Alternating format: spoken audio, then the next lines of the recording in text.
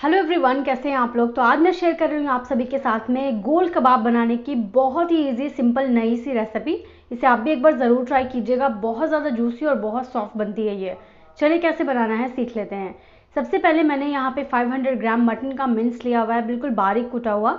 इसमें अदरक लहसुन की पेस्ट एक टीस्पून एक टेबल मैं इसमें हरी मिर्चों का क्रश किया हुआ पेस्ट डाल रही हूँ। इसी के साथ प्याज डाली है मैंने एक कद्दूकस कर कर। साथ में भुना कुटा हुआ ज़ीरा पाउडर एक teaspoon, chilli flakes one teaspoon, थोड़ा सा हल्दी पाउडर डालूँगी इसमें। काली मिर्चों का पाउडर मैं इसमें डाल रही हूँ, आधे छोटे चम्मच। नमक डाला है मैंने इसमें एक बड़े चम्मच, आप हंसबे ज़रूरत टेस्ट के अकॉर्डिंग डालिएगा। साथ में मैं इसमें डाल रही हूँ भुना और कुटा हुआ धनिया। और इसी के साथ मैं इसमें डालूँगी आधे नींबू का रस। नींबू से ये बहुत ही चटपटा बनता है। और अब हमें क्या करना है? सारे मसाले जब डाल दिए तो इसे बिल्कुल अच्छे से मिला देना है। इसमें मैंने आधे चम्मच गरम मसाला भी डाला है, वो मैंने मिस कर दिया, बताया नहीं। और बस यहाँ पे इसको अच्छे से मिला दीजिएगा। अब ये जो है, जो मटन है, ये जो है ना, अभी मसालों के साथ में मैरिनेट होगा। तो इसको 15-20 मिनट के लिए आप पहला मसाला लगाकर साइड पे रख दीजिए। देखें, पहला मसाला जो हमने लगा दिया था तो बहुत अच्छा मैरिनेट होकर टेंडर हो जाता है ये। नेक्स्ट में हमें जो मसाले लगाने हैं, उसमें तली हुई प्याज डालनी है। तो एक प्याज को मैंने बारीक काट कर स्लाइसिस में फ्राई कर लिया और ये क्रश करके डाल दिया है। एक मुट्ठी हरा धनिया, एक मुट्ठी पुदीना और साथ में एक चम्मच हमें कसूरी मेथी डालनी है और साथ में तली हुई प्याज का दो बड़े चम्मच तेल डालना है। बाइंडिंग एजेंट के लिए मैं इसमें डाल रही हूँ ग्राम फ्लावर जो कि मैंने तीन टेबल स्पून डाली है और डालकर मैं इसको अच्छे से मिला दे रही हूँ। बस, बहुत ही ज़्यादा इंस्टेंट इजी से कबाब की रेसिपी है। तो आने वाली ईद पे जो बकरे ईद आ रही है, इस पर आप ये वाले कबाब ज़रूर ट्राई कीजिएगा। इजी हैं, बहुत ही सिंपल है और बहुत ही मज़े के लगते हैं। बहुत सारे कबाब आप बहुत कम मिक्सचर से बनाकर तैयार कर सकते हैं। तो ये एज ए स्टार्टर स्नैक पे भी आप सर्व कर सकते हैं, बहुत मज़े की लगेगी। देखिए, सारे मिक्सचर को मैंने अच्छे से मिला लिया है और अब इसको मैं अच्छे से गोल कबाब का शेप दूँगी। तो हाथों पे हमें हल्का सा तेल लगा लेना होगा ग्रीसी बना लेना होगा और अब थोड़ा थोड़ा मिक्सचर एक नींबू, छोटे नींबू साइज़ का हमें बनाना है इसको। तो बस यहाँ पे थोड़ा थोड़ा पोर्शन लीजिए और इसको गोल घुमाते हुए राउंड कर लीजिए और ये आपका गोल शेप आ जाता है।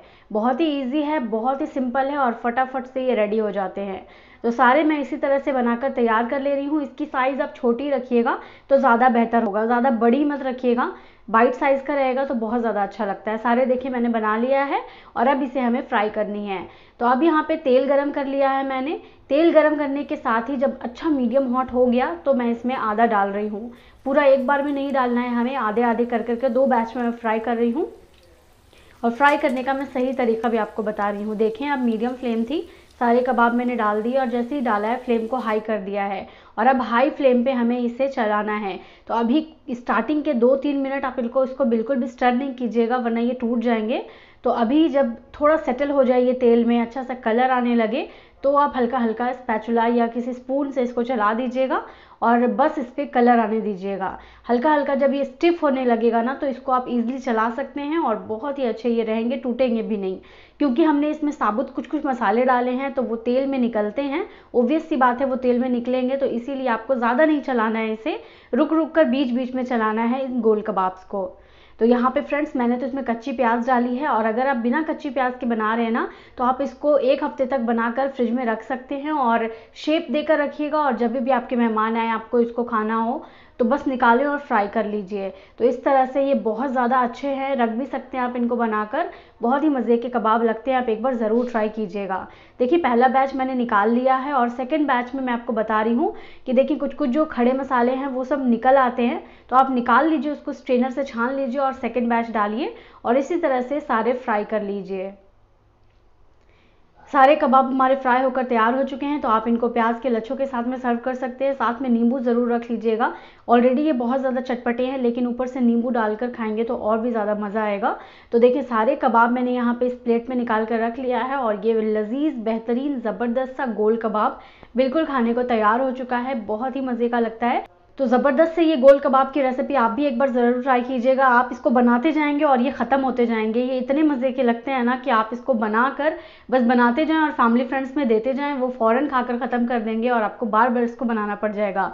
तो बहुत ही ज़बरदस्त से बनते हैं। देखिए, अंदर से एकदम जूसी है सॉफ्ट है और मैंने जैसा आपको बताया, नींबू डालकर खाएँगे तो और भी चटपटा मज़ेदार लगेगा, चटखारेदार लगेगा।